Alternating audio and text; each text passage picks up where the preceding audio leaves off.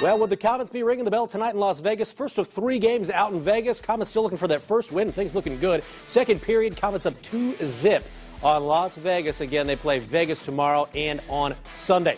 Let's go back out to the football field for your highlight zone play of the week. We go back out to Spuller Stadium. What a play by Donovan O'Day on the Snider defensive line. Donovan O'Day, oh my, bats it to himself gets the interception. It takes it into the end zone for a crucial touchdown as the Snider Panthers win and set up a rematch with Northside in the sectional championship game at 5A, which will be next week. Now, look at the schedule for next week.